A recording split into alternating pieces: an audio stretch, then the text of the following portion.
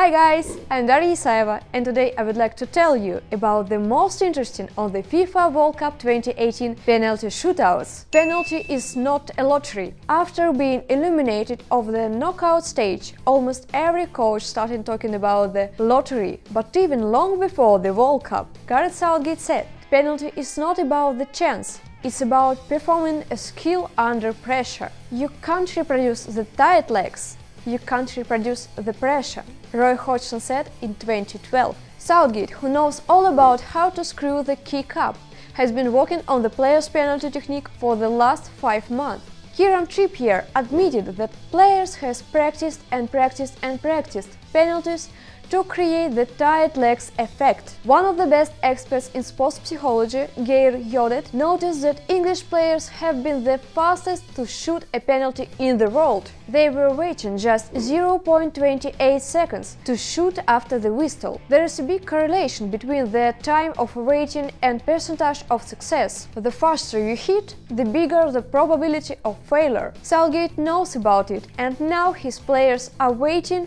at least one extra second second before taking a penalty. The England coach confirms that it's real shame to talk about the shootout as a lottery when there are so many modern methods of analysis and training to be able to always improve. The top 3 of the best goalkeepers' performances. The World Cup in Russia is making us happy with the great goalkeepers' work. These guys play so cool to become heroes to their nations. So let's analyze 3 of the best goalkeepers' performances in penalty shootouts. Kasper Schmeichel vs Croatia. Kasper stopped three penalty shots in the game. The first was against Modric in extra time and then against Badel in Pivaric in the shootout. Badel, not easy to predict cause he has only two penalty shoots in his whole career, but he made a huge favor to Schmeichel by shooting to the middle and the ball ended up at Schmeichel's feet. Kramaric had a very powerful shot and doesn't have a favorite spot. Kasper made a right decision to react, but what a shot! Modric. Let's finally admit that Modric is bad on penalties. He stepped up to kick against Croatia twice. First up, Schmeichel made it to the ball, and then he almost did it again. Since 2008, Lukas struck a penalty 8 times, with 4 hits here in the World Cup, including 2 in the shootout. He was unsuccessful just for once against Schmeichel. I watched all of his penalties and noticed that his kicks are so weak. Reina, Agaev, Schmeichel for the second time and Akinfeev almost saved four of his seven goals. In general, style of Modric is very predictable and comfortable for the goalkeepers because of his endless aiming to the corners and also low power and speed of the shot. Modric is genius, but definitely not on penalty. Pivaric not many penalties in his career, but seems like he prefers the left post, and Kasper agrees with me. Rakitic is unpredictable. He has a strong shot and his eyes are always focused on a ball, never getting distracted by the opponents. Kasper was right trying to react but Rakitic is just too good. Daniel Subasic vs Denmark. He became only the second goalkeeper in the World Cup history who stopped three penalty in the shootout. Only Portuguese Ricardo made it before him in the quarter-finals against England in 2006, who stopped Gerrard Carragher and Lampard's shots. And that's what Subasic did. Eriksen, he struck all of his four last penalties in the lower left corner. Why don't repeat it? It's more difficult with Kjaer and Krohn Dehli. They both have a small amount of penalties made some years ago. Schöne hits the left side, just like he did with last three penalties. Jorgensen, terrible job. He struck his last penalty in October 2017, the same spot with the same pose, and it was also saved by the goalkeeper. Igor Akinfeev vs Spain, one of the best goalkeepers in Russian history. He saved 7 penalties and conceded 16 in the last 5 years. This World Cup he coped with 3 of 11 penalties hits. Iniesta hits extremely rare and when he does, then he aims to the corner. It is clear why Igor jumped into the wrong corner. On the replay, it's clearly seen that before the whistle, Iniesta puts his body as if he is aiming to the left. Piqué.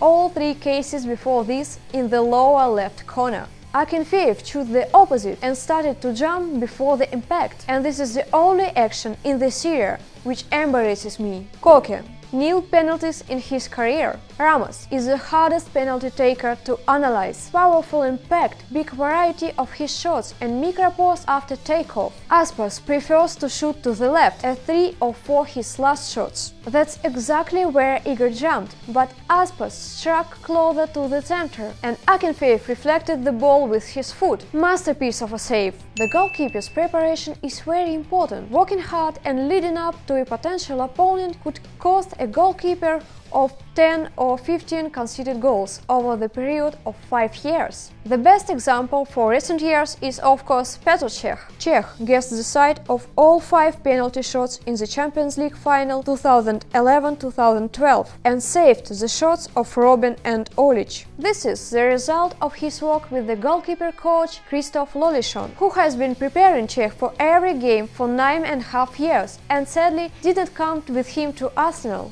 In March 2018, he coped with a penalty for the first time in three seasons for Arsenal. It was only 17th penalty when the shot was on target. Furthermore, in 16 previous penalties, he guessed the direction of the shot only twice. What a difference! Firstly, preparing for a penalty, it's more about your opponent, and shot map is telling you how to act against someone, and watching a potential opponent before the game benefits a lot. Why De Gea is so bad in penalties? Let's go back to Spain.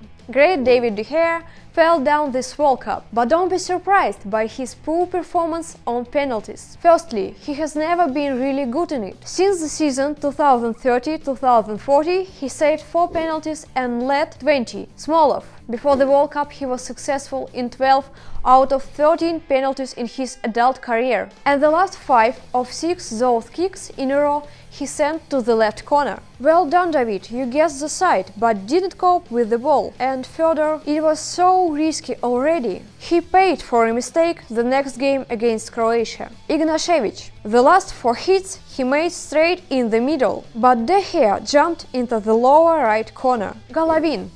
His only and one penalty was in the last season against Tosno. He struck in the right corner and goalkeeper got to it. Usually in such cases, when a player remembers his failure, we can expect a kick to the opposite side. That's what happened. Cheryshev this is only his second penalty in a professional career, and he decided to strike the same as he did versus Milan in 2015. It's quite obvious that when a player gets into a new position, he is trying to do it in the familiar way, at the back of his mind. As you can see, it was quite predictable. Thank you for watching guys, get in touch, leave your comments and subscribe to our channel. Follow us on social media and share this video with your friends. Your support is really important to us. I'm Daria Isaeva. Bye bye.